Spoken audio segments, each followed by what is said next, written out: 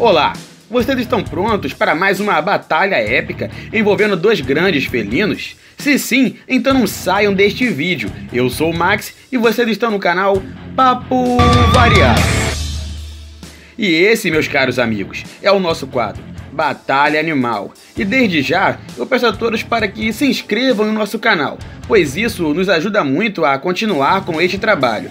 E não deixem de me adicionar no Facebook eu irei deixar o link na descrição desse vídeo e lá vocês podem me mandar algumas dicas de novos vídeos.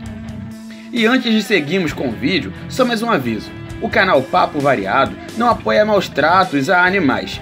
E sem mais enrolações, agora vamos ao vídeo.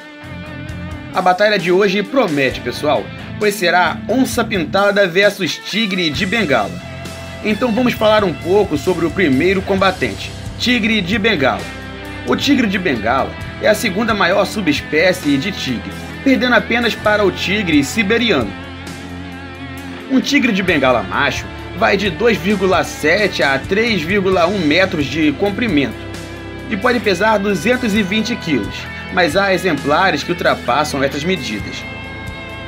Agora vamos conhecer mais um pouco sobre o felino que reside em nosso país, a onça pintada pesando entre 55 a 135 quilos, de acordo com seu habitat. A onça pintada apresenta uma altura que varia de 68 a 76 centímetros do chão até o ombro. E elas possuem um comprimento que varia de 1,40m a 1,80m de comprimento. Lembrando que essas medidas podem variar dependendo da onde a onça habita pois as onças do Pantanal são maiores e mais pesadas do que as onças da Amazônia, por exemplo. Agora vamos à luta. E deixando bem claro que é fictícia, obviamente. Um grupo de cientistas obscuros soltaram um tigre de bengala na floresta amazônica.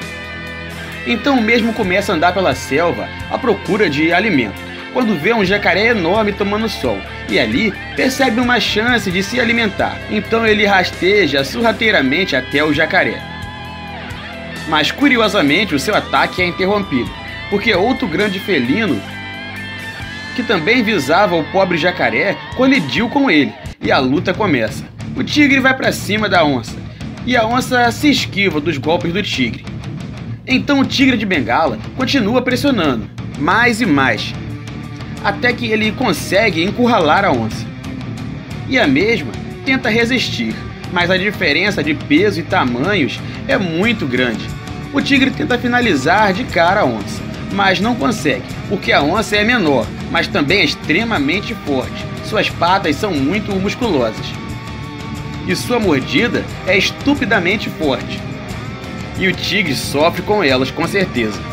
Mas, pessoal, isso tudo não é o suficiente para resistir a um felino que já bateu ursos e crocodilos e até mesmo leões. Então o tigre consegue finalizar o jaguar. E o jacaré, que não é bobo, não ficou para testemunhar quem venceria a luta.